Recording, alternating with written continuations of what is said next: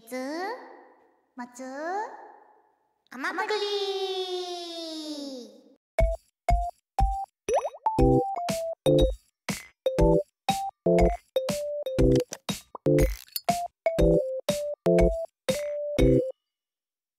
はいということで月末甘栗12月号です、やったーイ。師走。師走。うん。ちょっともう2023年ラストなんですけど。そうもうこれが上がってる頃はもっともっともっともうギリギリだから。そうだよ。終わり終わりだよ。うん。お疲れ様でした。お疲れでした本当にね。ちょっいろいろあったからね。と濃かったね。濃かったね。ほん急に濃かったね。濃かった。うん楽しかったです2023年やったよかったようん僕もすこぶる楽しかったですねええええええよかったですよあなたは今年も忙しそうでしたねそうですかね。なんかなんかふと思えったんだけど去年なんかなんかこうなんかいい感じに休むみたいな目標にしなかったっけ？休んでるよ。あそう？あねそう？まあそっか。比べた時はそしてないよ。うそっか。まあまあヤンミ的にそうなら別にねいいんだけど。裏目標がね休むだったから、あでそっもかそっかなんか休んだんだけどうん。挑戦することが増えてうん。なんか忙しく見えたのかも。なるほど。なんかちゃんと休んでる時間もあったんだけどうん。僕がなんかお披露目するものとかが結構あったからうん。なんかそれの準備をしてるんじゃないかってみんなそわそわはい心配してくれたみたいなところはあるかもね。なるほどねまあ、わかんないもんね裏でどんだけさこういろいろあるのかっていうのはやっぱリスナーさんはなかなか想像がね全部できないと思うから、ねそりゃそうよね、うん。リスナーさんどころか活動者さんにもねちょっと忙しすぎるんじゃないか。心配されたんだ、うんよく言われた1年だった確かに、うんうん。なるほどね、うん。まあでもそれで言ったらよっちもね配信が濃かったんじゃない？だいぶそうなんかねあんまり私は意識してないというか。いやこう旗から見てるとそうかなって思う、えー、ほんとなんかやっぱ今までって FPS とかさうん。こう一人でなんとなくやるみたいなうん。感じだったと思うけどうん。2023はなんかまあストグラだったりとか、うん。あとまあストグラから派生してね救急隊コラボとかさうん。他のまあ最近だったらそのギャングの人と VALORANT やったりとか、はい2キャラ目ねみんなでやってるやつはいねはい。あとまあはいはい。大会出てみたりとかうん。あとなんだろう。何してたっけな。まあ飛びウニもそう飛びウニもまあいろいろやったと思うけど。うんうん。だいぶなんかよっちの活動の幅が広がったように。あーお友達は確かにとてそうだよね。もとても増えたね。だよねだよね、うん。そんな感じがしております。だいぶ。嬉しいですよ。うん。ニコニコ。ニコニコ。新書も可愛いしね。うん。嬉しいよ。ねまあでもあんまりこうこうんなんかこう私はこう気張って何かをするってことが苦手だからえうんうん。こう流れで生きているのでうんうんうん。まあまあ今年も普通に楽しかったなって感じだけどね。うんうん。いやもうノリと勢いが一番大事だから、そうなのよ。計画性はないから。計画も後からついてくるとこあるしね。そうなんだよ。そうなんだよ、うんうん。大変いいと思います。はい。まあそんな僕たちですが12月も忙しか、12月は忙しかったよねそうだね。12月特にね。盛りだくさんでやったよね。はいやりました。やらせていただきましたよ。はいもう気張ったことが苦手と言っていた四葉さんですがうん。JFDH3 はい。あの気張らざるを得ない。はい気張らざるを得ない。ゼップダイバーシティ東京でのライブ。気張らざるを得ないなー。気まずいな頑張ったね。ーうーんお疲れ様でした。ほんお疲れ当によかったね。ね。えもう散々ねいろんなとこで喋ってると思うんだけどうん。二人でもねこの間喋ったしうん。新しく喋ることあんまないかもだけど。そうだね。でもやっぱこう長い目で見た時この、うん。まあ、5年ぐらいお互い活動してるじゃん。うん。2023年って結構節目の年だったなって思うんだけどうんうん。こんな大きいところでねうん。VTuber としてライブイベントできたっていう、なんかちょっと実感湧かないっていうか人事みたいな感じだよね。ずっとじゃん始まる前も一言だったし終わった後も一言じゃん。そうだよ。本当にかってなるよ。なんかわわかんないんだよな本当に。そこら辺のなんか実感が。あーちょっと疎いんだ。そうだね。鈍感系だ。もとそうだね。はー。やってやったぜ！みたいにはならないというか。やってやってたけどね。非常にね楽しかったし。うん最高だったなって思いますよ。ねえ。もう最高だった本当に、うん、来てくれた人ありがとうね。ありがとね。ん。未だに見るもんツイートで。あ。まだ。余韻。まだ余韻。長っと思いながら。わかるぞと思いながら愛しく思ってますけど。いやよでも僕もまだ余韻あるかも本うん。もういいね1週間ぐらい経ってるけど。当うんうんうん。うん全然浸れるかもしれない。いやもうこれが忘れられない思い出ってやつなのかもしれないよ。そうだね。うみんな存在すんだ。ってん。本当にね。いやうちこうなんかファンの人って結構さうちらからしたらほわわわわわってしてるじゃん。んわかるわかる。うん。そうなんかやっぱこう画面越しだしさいつもさうん。こっちはバーチャルでそっちはね、そうだね。あれだからでもなんかやっぱ生きてるんだ。うちらのこと好きって言ってくれてる人本当に生きてるんだみたいな、そうだよね。うん、びっくりしちゃうあれみあれ見ました？もうプレゼントはいただいたいただいたものは。あの上の方からちょっとずつ剥がしてるんで下の方は見れてないですまだ、はよみ この間も二人で喋ってる時それ、うんでっかすぎてそうだよね。あのそうお手紙がね一箇所にまとまってたんだよ。ああったあった。だからそうお手紙だけピョンって取ってうん。でそれを毎日ちょっとずつ今読んでるとこなんだけどうんあのそのプレゼントにお手紙入れてくれてる人とかも多分いるんだけどね。たくさんいるたくさんいる。そうそう。そういうのはまだちょっと下には届いていないですね。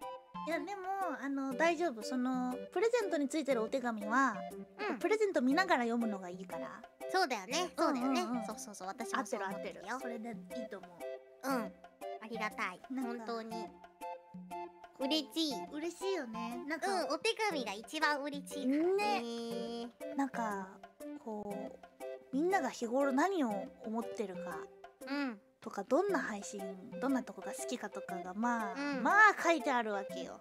そうしかもさ手書きの文字とかでさ書いてあるからさそうそうそう。もうそんなん世界に一つだけの筆跡じゃん。いやそうそう。わーって思いながらこの字で生きてるんだ。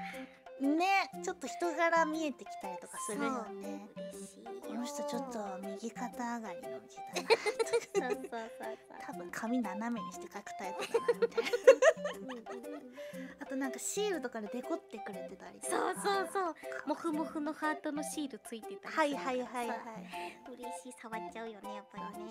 ね。いや本当にねありがとうだからね。本当にねでもなんかこう人から人間からのこう思いが綴られた手紙。うん。こう心に来ちゃうからやっぱ。そうなんだよね。なんか励みになるわ今後の。なる。励みにしかならない。うん本当にね。もううん。嫌なことあったらこいつらを抱きしめて寝るんだってそう。そうそうそうなのよ。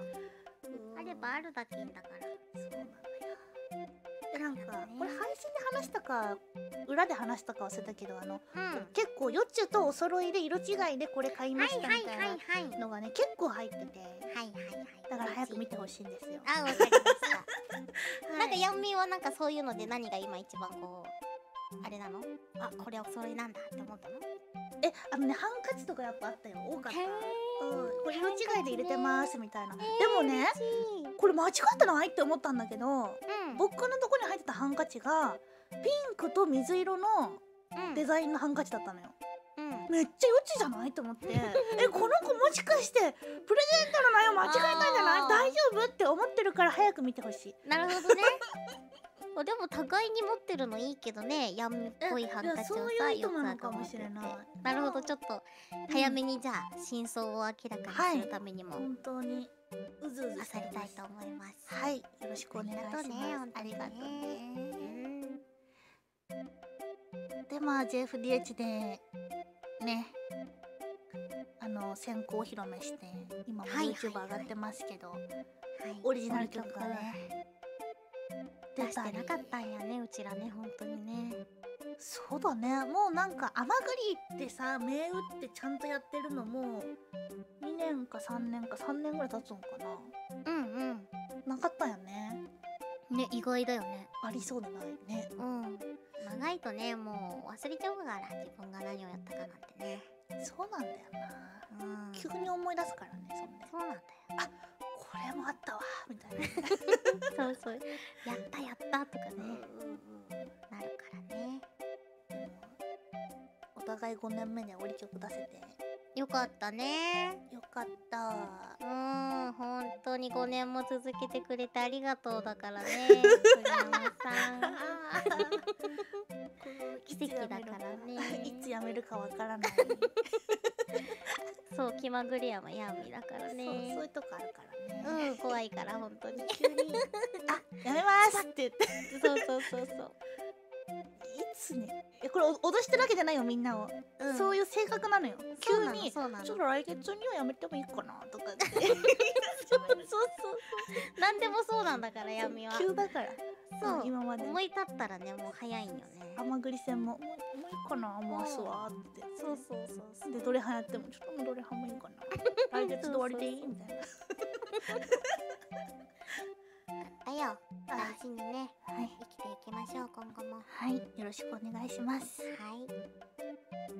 でちょっとまあゲストコーナーまでね長くなっちゃうんだけどやっぱあの、うんクリスマス会も触れときたいから。はいはいはいはい。はいありましたね。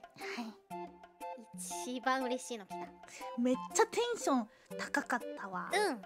あのー、よかった。なんか他のプレゼント知らないでさもらうじゃん。うんそうであの自配信ではちょっと言ったんだけどね。うん。あのもう写真先に撮るもんだと思って開けちゃってたのよ。そうだからあの私があの配信会で VC にねピロンって入った瞬間にはもう知ってたのプレゼント、うん、うん、そうそう。あまりにニコニコしすぎてね「こよっちゃんご機嫌だね」ってそうそうそう。いやでもねそれ、うん。しかも僕じゃなくて誰が言ったんだっけあれ。え柿さんとかじゃない？んか。だから、うん。その僕じゃない人が聞いても分かるぐらい機嫌良かったんだよ。そうなのよ。ルンってなんかね本当にね、ルンってしてたよ。そっか。うん音符が見えた本当にもん嬉しかったからね。うん。あれ本当の感情です。ええあの私のために作られたプレゼントだなと思って いやーいや当てれなかったの悔しいんだよな。いや当たんないよあれ。ちょけるだろもっと。うんシャレすぎてんだよなちょっとな。でもでもちょっとわかる気もするんだよなこう答えを見たら。うんなんかさなるほどねってなる部分あるよね。今回藤宮さんと慎太郎さんが意外とちょけてなかったっていう。そうなんだよ。でもなんかわかるんだようん。いや藤宮の場合はめんどくさくてちょけてないだけな説あるけどね。ないやーこれこれ美味しそうやからええんかこれでううんちょうど値段もちょうどええやんっつってねうんそうそうそうそうそうかななんか美味しい藤宮さんとかなんか最近おしゃれとか気をつけてそうな感じあるからうんシャレオツな男になってんねそれゆえのあれだったんじゃないうわーそうだったんだ実はまだ食べてないんですよ食べてないんかいうん食べようと思って寝ちゃってうんだ4つしかないから大事すぎてちょっと食べれてなくて。あるよね。1個だって何百円って言ってたっだってこう今回5000円がこう上限だったでしょ？けうん。4つしか入ってないんだよ。いやわかんない。3000円の箱かもしれないよ。バカ。バカ。だろ。箱代がね確かにあるかもしれないからね まあでも確かにそう考えるとね数百円はしそうだからね。うん。平気で。よかったよ。これからまた食べたらレポするんでツイッターで。はいお願いいたします、うん。闇はどうだった？僕はあの慎太郎さんから手袋を。よかったでもね本当にねあったかくて。タロンミ助かる。タロンミ助かんだ。お前かって言っちゃったんだけど、うん。あの後反省してあの手袋あったかいよ神ってチャットしたら 気まず。意したらねあのそれでマイマイもできますって来て。味わかんねあのスマホがねスマホがね、対応してるのよ。3本だけ指。うん親指と人人差し指と中指だけスマホ反応するんだけど、あれマイマイも反応するらしくて。じゃあ前々やりに行こう。やらないよ マイマイ用なのウケるな。マイマイもできますって書いてあったから。最高です。マイマイじゃなかったか音ゲーだったかも。音ゲーうんうんそうだね。あれあのータブレットとかでやるやつもできるってことだもんね。そういうことだね。よかったよ。楽しみ毎年やろう。また来年も楽しみだよ。でもみんな来年はとかって話してなかったもうしてた。来年もやんだって思ったよ僕は楽しいもんこれ。やりたいんだみんな来年もって。最高。来年はね柿さんがいっぱい出るだろうから。滝の語りがねまずね、はい。何人出るかね。そう真の柿を探す旅が。楽しみだな。おもろかったなかきさんのもね。ちょっとぜひまだアーカイブ見てない人ははい。見ていただいてください。はいお願いします。はい。ということでねちょっとオープニングトーク長くなりましたが。はい行ってみましょう。はい行ってみましょう。こう。はいということでそれでは次はゲストコーナー。イエーイ。えーこのコーナーではですね毎月お一人ゲストをお呼びしてうん。お便りと一緒にゲストさんの魅力に迫っていこうというコーナーです。イエーイ。うん。では早速今月来てくれたゲストさんはこちらの方です。はい、えー、作曲家並びにゲーム実況者やっております。ハイブリッドセンスこと小西弘明です。よろしくお願いいたします。あーお願いし小西さん来た はいよろしくお願いします。頑張ります。はいよろしくお願いします、ね先月得た知識だよねうちはね、うん。小西保さん。ちゃった。うんいや次先の月得たの？そう次のゲスト誰ですかって源さんに来た時に小西さんですって言われてよつよちゃがボカーンってしてて。存じ上げないまだ界隈に存じ上げない人がいるのかと思って一生懸命考えたんですけど まさかまあね。ご本名だとは思いませんでした、いやそうなんですよ。本名なんですよ、まうん。あ、そもそも本名の方がね先に活動してますから僕は。えそうですそうです。ー、か音楽家としてってことですか？そうです。だから10代からバンド活動をしているのでうん別にそのバンドでの活動の時は別にハイブリッドセンスっていう名前じゃなかったんで普通に小西弘明であの昔のホームページとかって載ってるんで。えー、そうなんだ、はい。えどうしてハイブリって名前をつけたんですね。か、えっとねあのハイブリッドセンス自体はうん。意味合いで言うと、まあ、混ぜ合わせるがハイブリッドでセンスはそのままなんですけど、まあうん。センスって言葉自体に実は音楽的なそういう感性みたいな意味合いがもともと入ってるんですよ。うん。うんうん。で当時二十歳前後の時に僕が曲を作ってでそれを友人のミュージシャンたちに結構いろいろ自分たちで好きなように演奏してもらっていわゆるコンピレーションアルバムみたいなのを自作でうん作って販売とかしてたんですね。でまあ皆さんのいろんなそういう音楽的な感性が入ったアルバムだからっていうのでできたのが「ハイブリッドセンス」っていうアルバムやったんですよ。アルバム名。そうですそうです。おしゃれ。それをつけたけどその後ネトゲする時にハンドルネームなん 何も決めてなかったんで まあ目の前にそのアルバム売れ残ったやつがあったからそれをそのまま名前にしたっていう。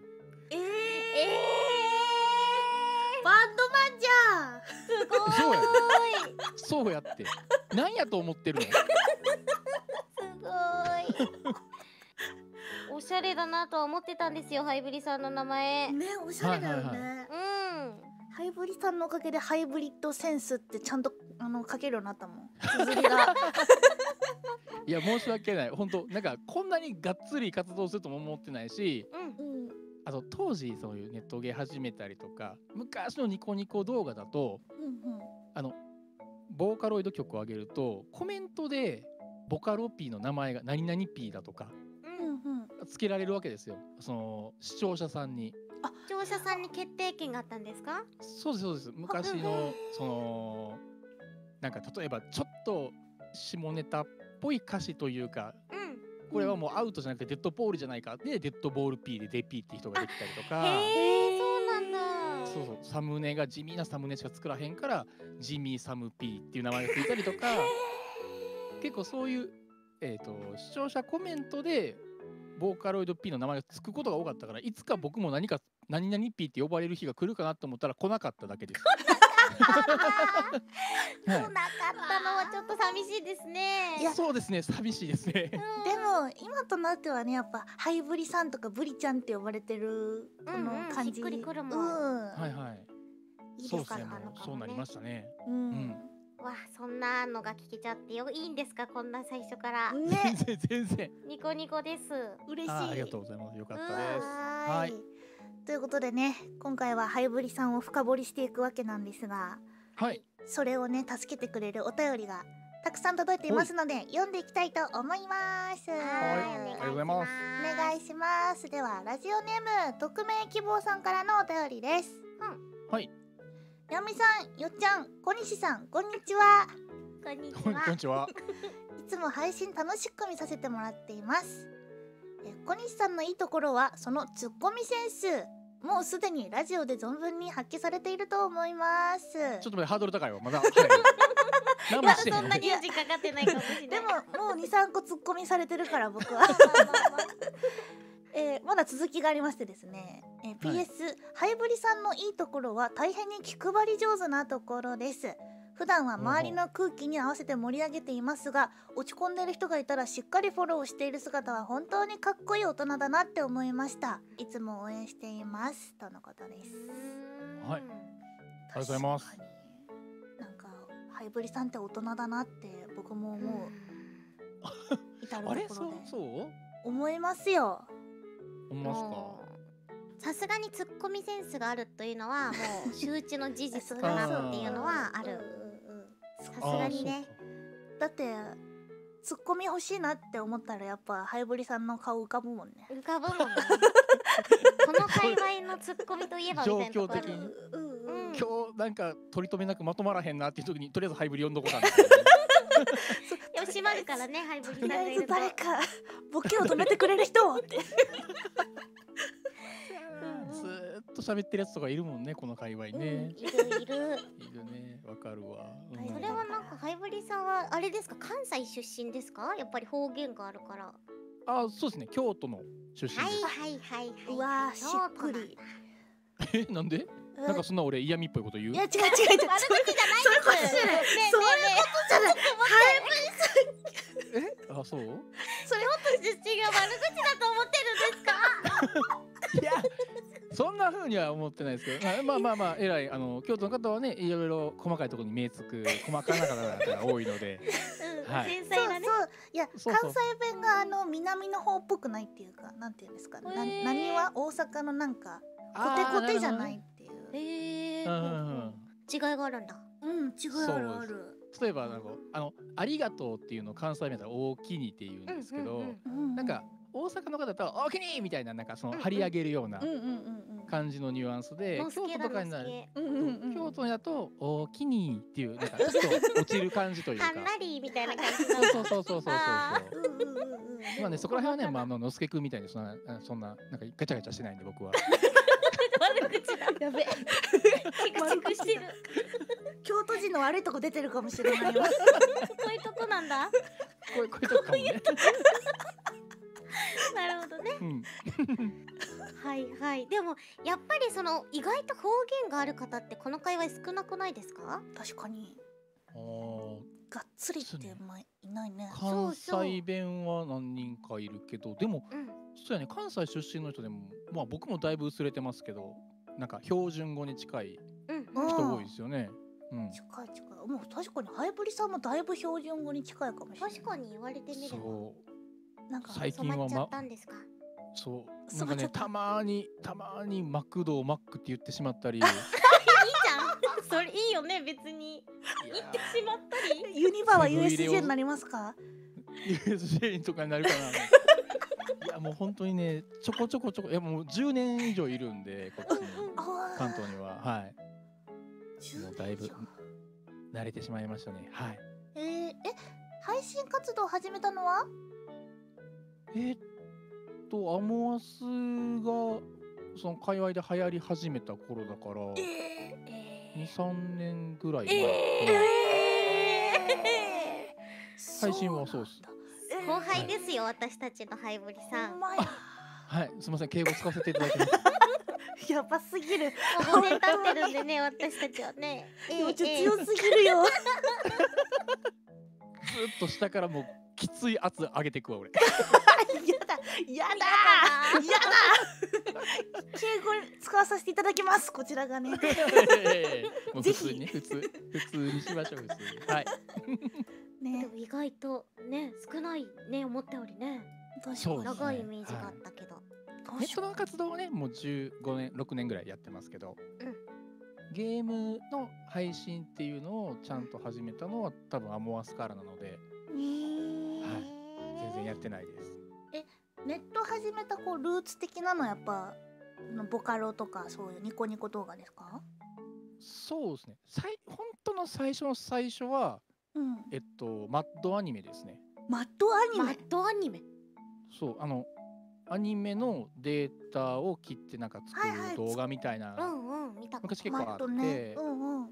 で僕はあのリップシンクって言って曲の歌ってるようにそのセリフの口が、まあ、アニメキャラが開いたり閉じたりするじゃないですか、はいはいあれをだからああやったらあーって言ってる顔とかを当てはめてなんかキャラクターが歌ってるように見せる PV みたいなのをエヴァンゲリオンで作ってたのが最初です。エヴァンゲリオンで？エヴァで作ってました。すごい。すごい。じゃあなんか音楽を作ってたとかではない？映像？そうですね。最初は本当にマットアニメが、まあ当時と結構面白いなんかそういう作品があったんでうんうん。それの真似事でやってみようっていうので昔のあの Windows のパソコンには Windows Movie Maker っていうソフトがはいあったんですよね。それでも簡単に切って貼ってのやつを作ってあげててだけど別にそれのなんていうんですかほんまに時間の暇つぶしやったんででその後初音ミクが世の中に発売されたからうんうん。じゃあそれでボーカロイド曲作ろうかなみたいな流れです。クリエイティブですね。確かに。とても、うん。そういうのが好きなんでしょうね多分将軍として。そうだよね。闇もそういうとこあるもんね。そうだね。まあちょっと音楽を作ったりはしたことないけど、うんうん。クリエイター気質なんだ。思いついたらやっちゃいたくなるみたいなね。なるほどね。あるある。仕事の仕事の合間に別で趣味で曲作ったりとかしてるから。出た。イラストレーターさんと一緒だ、ね。お絵かきの合間にお絵かきする人だ、そうそう。休憩にね。うん。そう。休憩にしちゃうよね。わかる。えー、えあちょっと待って。後でも音楽の話いっぱい出てくるかもしれないけど、はい。ハイボリさんは音楽はピアノから作るんですか？何から？楽器はあ今もはやほぼ楽器使ってないです。えな、えー。な何な何から？どどうやって？え頭で考えて。あそれをこう打ち込むみたいな？そうそうそう。頭の中になんか全体的なイイメージをうん。作って一応なんか音探す時はそのピアノ触りますけどうんうん。ほとんどこれはこうだからっていうのがもう今は楽譜がだなんとなく頭に出るのではあ。そそっからですね。そっからまあそっからなんかちょっと広げるために楽器触ったりとか音色いろいろいじったりはありますけど最初にパッと浮かんだ時はなんか別に楽器触らず。うん。すげえ。す。げえ。えなんかハイボリさんが作る曲めっちゃ耳に残るから。ああありがとうございます本当に。いや本当に。うん。なんかチャゲさんとかのねやつとか。ああそうだね。チャゲくんとかにまあてかアンモアス界隈の人に提供している曲とかうん。だとなんかその人のキャラクターが結構配信で一緒に絡んだりとかするとあるじゃないですか。うんうんうん。なんか例えばチャゲくんたちだったらきっとちょっとちょっと正統派アイ男性アイドルっぽい方が いいなとか。わかるわかる。俺ビバはちょっとおふざけじゃないけどガチャガチャしてるというかうんうんなんかなん言い方があれですけど悪ガキっぽさがあった方がいいかなとかなんかそういうイメージがあるのでそれだったらそれを音に表現するならこっちだよなはある程度イメージがつきやすいんで。はなんかまあキャラソン作ってるあ。おキャラソンだ。ほんとはあ作り方すごい。ねいやハイブリさんだからしでしかできない音楽ですよねそういう部分をちゃんと組み込んでくれるっていうのは確かに。確かに、うんうん知り合いの方やとやっぱり作りやすいですね最高はあ。すごい。どれぐらいかかるの？一曲作るのに。一曲作るのに？思いついたら早いですか？早い、うん、まあ一日でできる時もあるし、いや早すぎうん、まあでもまあ手直しとかね、うんうんうんあとはもうやっぱ一日空けてからもう一回聞いてみてとかはあるんで、まあ数日はいただきますけどすごっ。すごいそんな感じです。ミュージシャンだ。ねすげえ。そうだよ。いややっぱこうアーティストさんでも曲は作れないとか、歌だけとか楽器だけの人もやっぱいっぱいいるだろうから、はいはい、はい。作れる人すごい。本当にそうん。ね。ねななんでできんのかも僕自分でもあんま分かっ いや分かってもうそれないですよねはこれまでのね経験と知識うんとセンスですよ。なんかななんくかまあ40年以上生きてるからね40年以上？41歳なんで僕今ええおめでとうございます。ああじゃあ。おめでとうな。んだはわかんない。すごくない？そんなに生きて。すごい偉い。すいません悪気ないんです。ハイブリさんすいません。うちの子悪気ないんです。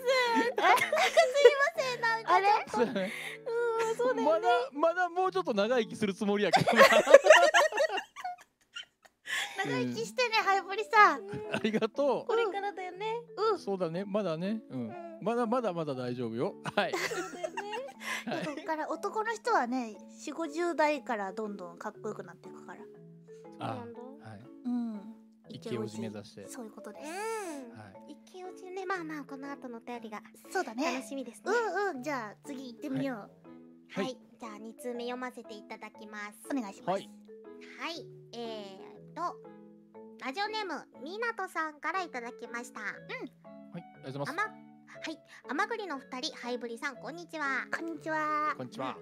ハイブリさんの推しポイントですがやはりギャップです、お歌や人狼ゲームの時は非常にかっこいいのですがお酒を飲まれた時はとても可愛らしい方へと変貌なされます、もっと、えー酒飲みながらの配信してほしいですこれからもお三方とも応援しております。ありがとうございます。ありがとうございます。酔うんだ。あーハイブリオジだ。そのぶりなんだやっぱり。おいおいテラちゃんと一緒にすんな。で、可愛い可愛らしい方へ変貌なされますって書いてあるから。うんえ、お酒？まあまあまあそう可愛らしい。まあわかんない。ど何を可愛らしいと思われてるかわかんないですけど。はい。いやなんかハイブリさんがなんかお酒飲んで寝ちゃったみたいな。なんか過去にありませんでした？なんかコラボ中に。ありまありましたね。ありましたよね。そう桃鉄やってたら途中で 寝ちゃったんだ。寝ました。1時間ぐらい寝てました。飲みすぎなので。え弱いんですか？そんなに強くはないですよ。はいはいあはい。ーそうなんだ。そその日はでもなんかその配信をうん。する前から飲んでて、なんかねちょっと特別な席に用意してもらったんですよその飲みの席を。ちょっとまあのの一緒に飲んでたんがそれこそその日コラボするトータスと伊豆さんと、うん。でまあそれこそちょっと夏にそれにおまおじを加えた4人でライブやらせてもらったんですけど、はいはいはい。それの、まあ、打ち合わせ兼みたいな感じでこうなんかちょっとだからちょっと個室的なところうんうん。用意していただいて、で個室だけじゃなくてあのビールサーバーも一緒に用意されたんですよ。僕ほぼビールサーバーの前を陣取ってずっ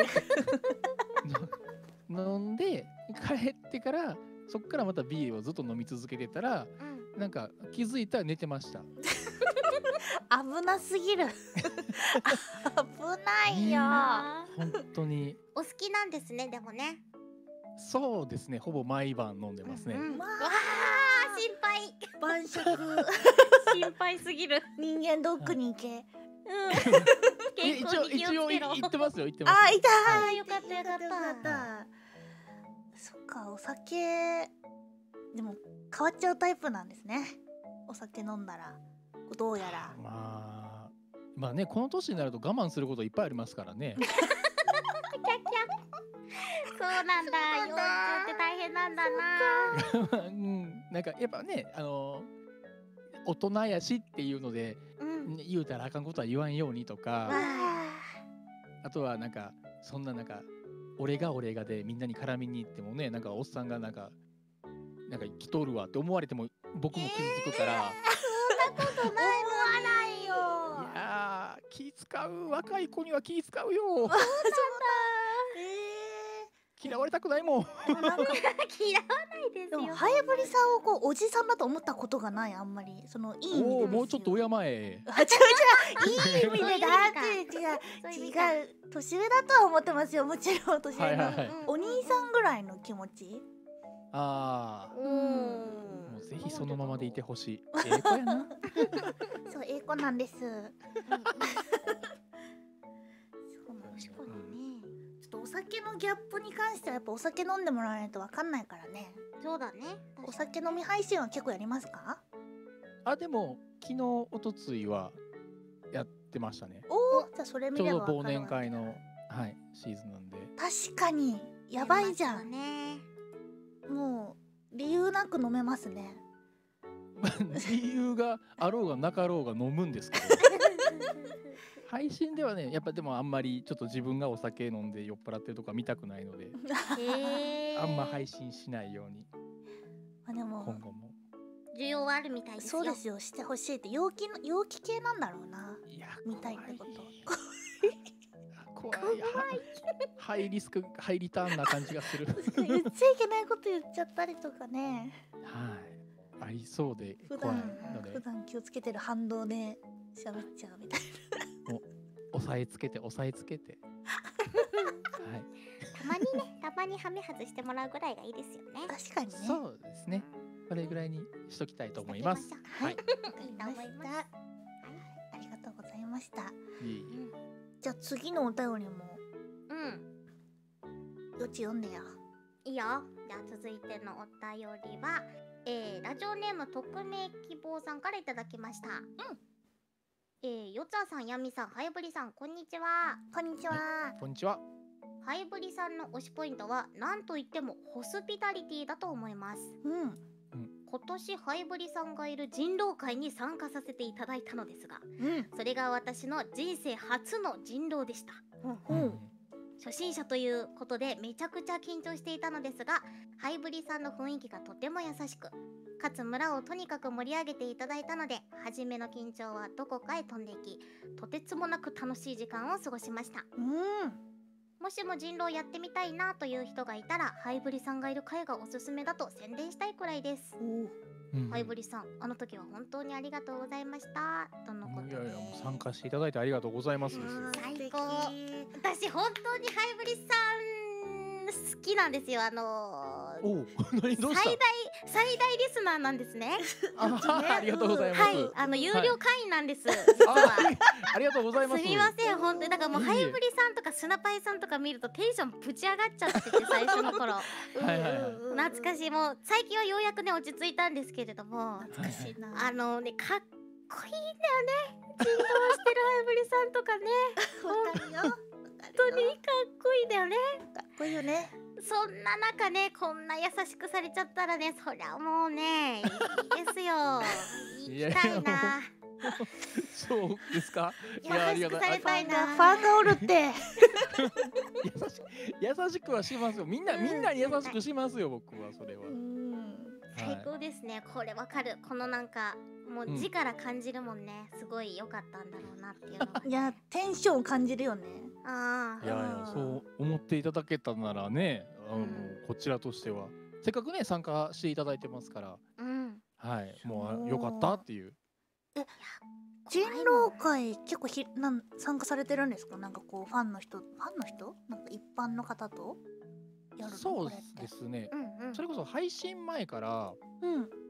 あのーちょこちょこっとその対面人狼であうん。の人狼ができるお店のゲストみたいな感じで呼んでいただくことはそれこそまあ最大は出てたので、うんうん。まあ、何回かあったんですけどでまあちょっといろいろコロナとかで。まあ、Zoom の人狼っていうのが流行りだしたら、うんうん。まあ、オンラインでできるんでじゃあ定期的にやりませんかっていうのでそれもいろいろそういう人狼ができる、えー、と企業さんというか、えー、とそういうのを主催されている方がおられるので、まあ、そういった方に定期的に、まあ、月1月2ぐらいでは Zoom でやったりとかあとはまあ本当に現地まで行ったりとかもたまにあります。はい、えー、そうなんだ。はい、あ一緒にできんだ。わできますよ。嬉しいよ。あ。ちょっとですもごいことだねちょっと詰められたらもう何もできないそうだよね。なっちゃう。そんな詰めへんの？まあ、詰められるのもまた一興。そうそうなのよね。わかるわかる。あのまあうん。ハイブリさんのあのパッションのある感じとかにすぐ騙されちゃうと思うもん僕。うんうん。あーなるほど、ね、またそれもいい。うんあのハイブリさんが占いで語ってる時が一番好き、はいはい 本当に本当なんじゃないかって思うからパッションが。これは本当に真の占い師なんじゃないかやっぱりって思って釣られてってあやっぱ人狼だったんだっていう。がっかりしたいよね。そう、うんあまあまあそういうこともね、うん。もうなんかどっちかって言ったら人狼ゲームだと僕は人外陣営の方が好きなので、へえうん、いやいいですよ騙されてくれはると悔しがってるの見てると楽しいじゃないですか。最悪。意地悪だな。最悪。でも騙されそうになっちゃう。いや騙されそうってかもうほぼ騙されてるんだけど。おまあ魚人狼とかも。うん。まあそれがあるんではね。本当の占い師の時もあんま信じてもらえないことが多いんですけど、あそうか。うん。あーそう確かに。そうだね。日頃の一応いたんですね。うんそうだいやなるほどねパッションがいいんだよいいな。これは今後もというか今でも全然そういう活動なされてるんですか？ハイブリさんは。そうですね。まあ一応定期的にはまあなんかあったら告知してるんで、まはいはい。あ、興味ある方は初心者さんでも、うんうんうん。いやいいじゃんみんなこれ。はめっちゃ対いいよ面人狼ね。え楽しくできるのすごいいいと思うから。はい。ねやっぱ違うよねこう。メモ取れないんですか？やっぱ対面って。あいやえっと。取ってもいいの？取ってもいいです。そのあいいんだ。特に制限は。えあもう最大はもうみんな一切メモしないから、あれ意味わかんないよ、ね、意味わかんない覚えらんないよって。毎回聞いちゃう。よえっと誰を占ったんでしたっけ？一日目はって。怒られる。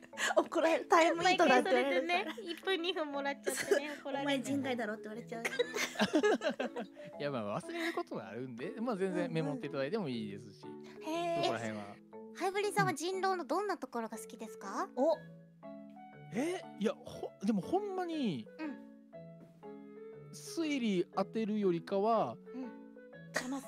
騙すというか せいや説得する？あ説得。あの人狼ゲームってそのもちろん盤面を整理してうん。思考を伸ばしていくっていう部分ももちろん一つのあの思考のゲームなのでそれも大事なんですけど結果それを、えっと、頭で思ったことを自分の言葉でアウトプットしてうん。みんなに伝えるっていうことは結構大事なのとうん。相手が喋った内容を逆にこっちもインプットして伝わるというかその意図を汲み取るのがゲームの醍醐味なので僕結構会話が好きなのかもなと思っあ。て、うん、ー確かに。だから説得を投げかけることとそれに対して臨機応変にに考え方を思考を柔軟に変えてもらえるポイントはが一番僕は人狼ゲームの好きなところですね。あー素敵、すごい。でもなんかこう自分のこう言ってることとかが伝わってその人の思考が変わったりとか、うん。こう逆に自分の思考が変わったりとかのうんうん。タイミングちょっと気持ちいいもんね。気持ちいいですね。ちょ少し前にお魚人狼でうんうん僕が結構疑われている場面があったんですけどもう僕が渾身の「僕は村人ですよ」っていうアピールをした時にうん。あの喋ってる途中からそれを聞いていた判断役の慎太郎君の顔が変わっていってこれは村だみたいな なっていくのを見た。時は気持ちいい。それどっちだったんですか？本当は。僕村でしたそのうわーじゃあもう最高に気持ちいいじゃん。そう。しんちゃん信じてくれた！って言われて。そうじゃん嬉しかったです。ねうわ嬉しい。嬉しかった。それは嬉しかったですね。はい。うわーそういうの。説得っていう一面もすごいあるか人狼。なんか共感とか説得とか。うんうん。盤面整理とかいろんな要素があってみんな好きなとこ違うんだろうな、ね。そうですね。まあ盤面どんだけ盤面整理早くても、うん。その整理したものを伝わらへんかったらこの人何言ってんやろって釣られちゃうことがあるので。本当にそう。まあなるべく伝わりやすくを考えています。うんうん。いいですね。だから騙されそうになっちゃうんだよな。そうだよ。そうだね。そうだね、うん。そうなれるようになりたいね。自分もね。人狼？うん。人狼やりたいのよ中いや見るのが好きなんだけど。いやわかるわかるうんかっこいい。やっぱ展開視点で見るのがやっぱ一番楽しいね。あ展開がいいんだ。うん。あこの人こうやって嘘つくんだ。と思って。全部知ってるのが好きなんだ、うん。配役。うまって。うそうそう。ああーそうなんだよねあうん。逆かも。僕はね村人の人のを見るのが好きだから。あーなるほど。へえな村人視点で誰誰なんだろうって思いながら見るのが好きだから。なるほどねまあいろんな楽しみ方があるね。ねえ、もう最近めっちゃハイブリさんもね人狼いっぱいやってくれるからうん見れる機会が多くて嬉しいです。いやこちらこそありがたいことにいろいろお誘いいただいて頑張りうん。頑張ってます。はい。ちょっとお便りに戻るけどあのホスピタリティねおもてなし力ですか？ホスピタリティ合ってるよね、うん。うん。でも確かにハイブリさんいたらやっぱ空気いいから。安心感あるようね。うかどうなのね。まあまあね。それでもどこでも誰でもそうじゃないの？いやそんなことないそんですよ。なことないですよ。なんか欲しい時に欲しい言葉返ってくるっていうのがやっぱ安心感あるから。うんうん。ツッコミっていうのもあると思うんですけど。はいはいはいはい。安心してねこうぐちゃぐちゃにできるというか。遊べちゃうというかね、うん。まあほどほどにしていただけたら大変助かるんですけどこちらこちら的にも。そういう一言が助かるんですよハイブリさん。やめてあんまネタバレせんといてやりにくくなる。でも本当嬉し嬉しくなっちゃうから。うん。これすごい気持ちわかりますねこの人の。うんはい。うん。ねうん。頑張って全部拾えるところは拾ってきますねわーい。はいということでありがとうございました。はいうん。はい。ありがとう。はい、ということでね、今月もお便りありがとうございました。ありがとうございました。他にもね、たくさん来てるので、そちらはね、ハイブリさんに、えーまとめてお見せしようと思います。読ませていただきます。はい、もうファンレターですから、これうん。は。うん。ということでね、はいこちらのコーナーね、うん。今回はハイブリさんがゲストだったと思うんですが、はい。はい。ねえ、よっちゅう。そうなんですよ。あのハイブリさんもね原産からバトンをつないできていただいたと思うんですけれども。はい。こちらのコーナーはなんと次回のゲストさんを紹介していただくというシステムになっておりますので、はい。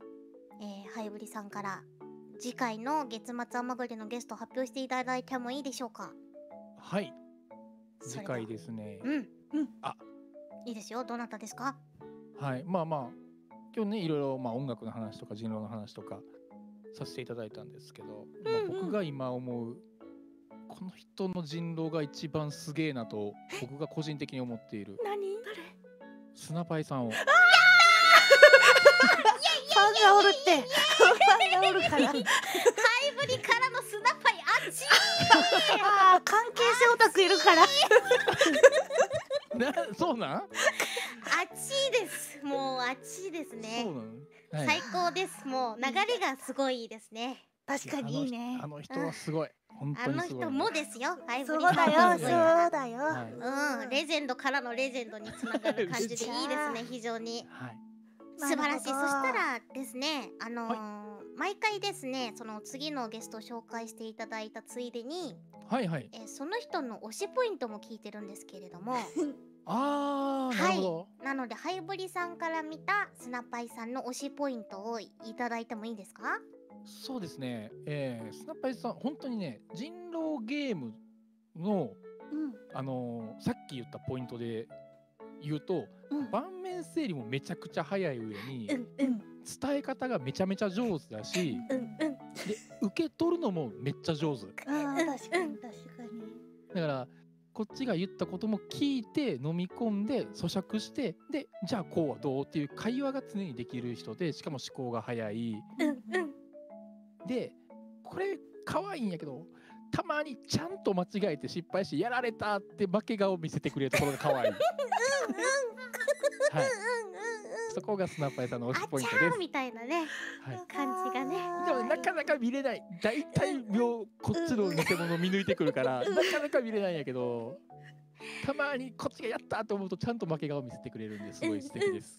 はい。や好きじゃん。楽しみになっちゃった。好きなんだ。よかった なんやねん。それそうですよ。みんな好きですよ僕は。やったー。はいということでね。うん。はい。すごいもうリスペクトを感じる紹介ありがとうございます。はい。はい。来月はスナッパイさんはい。ということで。やったー、はい。ありがとうございます。ありがとうございます。こちらこそありがとうございます。うわハイブリさんどうでしたか？月末甘栗いやーめっちゃ緊張しました。ていうか今もまだ緊張してます。介そんないやもし次ねまた機会があったらその時はもうリラックスでそうだね、はいおしゃべりしたいなと思います。うんはい。ぜーひぜひよろしくお願いします。はー。い。お願いします。ということで2023年をね締めくくる、まあ。えーゲストはハイブリさんでした。はいありがとうございました。ありがとうございました。バイバイ。はい。バイババイバイということで。うん。ハイブリさんでしたね。最高でした。はよちのテンションが高いのって。い。いやな緊張してたよハイブリさんずっと。あの緊張してたんだね。そう。闇があの音量チェック行ってくれた時もね、うん。緊張すんなーってずっと言ってた。なんかね緊張してんのかなってちょっと思ったんだようんそうだよね。なんでだろなんでだろううやねっぱ収録ってなると。そっかアーティストの部分が出てきちゃうのかな？どう？闇ってハイブリさんとなんかこう配信でこうがっつりみたいなのある？もうアモアスだよね。ぐらいかも霊界で喋るぐらいかもそうだよね。やっぱ霊界だけだとやっぱちょっとそわそわするんかあー慣れてないみたいな。そうなんうちらに慣れてなかでった。も甘栗線も出てくれてたし。あそうだよね。あじゃあ収録だからか。じゃないかな。でも確かにこう自分のことを深掘りされると思ったらうん。何ちょっと喋ろうってなっちゃうのかな？なるほど。お茶目おじさんが出たんですね実そういうことだ。なんか今思い出したけどやっぱ甘栗線の時もさうん。ツッコミいない時そうだよ。ハイうちらブリさんが本当に困った時のハイブリさんやったそういえば。そうそういえばそうだったわって思い出したし懐かしくなりました、ねえ。でうん。からのバトンはスナパイさんと。あっちーあっちーもうちょあっちー。あっちーでしょ。いいね。楽しみ。楽しみすぎるね、うん。スナパイさんもがっつりおしゃべりしたことないから。うん。楽しみですね。はい。ということでね。嬉しいです。2024年はスナパイさんからスタート楽しみに。お楽しみに。ぜひお便りもねお待ちしておりますので。お待ちしております。推しポイント頼みます。よろしくお願いします。はい。はい、はい、ということでねラジオももうエンディング近づいてまいりましたよ。うん。もう2023年がねこの一本で終わりですので。寂しい。寂しい？来年もあるけど。終わっちゃうもん終わっちゃわないけど。そっか。うん。いや賑やかな年末だったな、本当にね。うん。バタバタしてたから、うん。ちょっと年末を楽しむゆとりはないというか、まあ毎別に毎年楽しんでるかって言われるとちょっとあれなんだけど。うん。なんか年末感みたいなのはまあ今年もあんまりなく私はね。あ本当？うん。いつも通りなんかむしろこう活動がワイワイしててうん。こうそれこそ家でこたつでみたいなのはまあ今年も相変わらずないなという。あー確かにこうまったり系のね。そう。年末感はないかも。うん。でもなんか今年はなんか例年以上に年末の企画に呼ばれたりとかしてない？そうだね。いやもう明日から怒涛だよ。明日このし明日から。この収録日からの話してる、そうそうそうそう。あーはいはいはい。怒涛です怒涛が始まっている途中の月末甘栗です、はい。きっと今ヘトヘトだと思うんで いえあの癒してあげてほしいですね。はいわかりました。はまあ盛りだくさんだったんでいうん。もう振り返るためにはねこの月末甘栗を一から聞いていただいて。うん本当に。一月からね。12本あるからね。はい。それでもう十分振り返れると思いますのでね。はいしていただきながら皆さん年末もねあのゆっくりお過ごしください。はい。はい本当に今年もお世話になりました。お世話になりました。うんなんか忙しい人もいるかもしれないけどうん。ちょっとでもねこれがみんなのチルタイムになってると。嬉しいね。ねうん。来年も頑張りましょう。頑張りましょう。新年はですね、はい。年明けてからなんか2人でやろうって話もありますからね。はいなんでお楽しみに。お楽しみに。はい。2024年も甘栗頑張っちゃうぞ。頑張るぞ。はい。もうゆるい感じで終わっちゃうか。ーうん。そうだね。はい。風邪ひかないように。そうだよみんな。うん。寒いんだから。本当にそう。もう僕はみんなからのもらったあったかグッズとかで過ごしてるよ。うんうん。おやつもいっぱい。おやつもいっぱい最高。ありがとありねがとね。じゃあ終わります。ははい最後はあの言葉でーいうん。今回はあの言葉やめますか？そうですね。年末ですし。ああの年越し前のあれでいきますか？何ですか？年越し前って何があるんですか？年越し前にさ最後に会う人にこう、はいわかりました。はい。合ってると思います。はいじゃあいきますよ。はい。せーの。よいお年をバイバイ。バーイ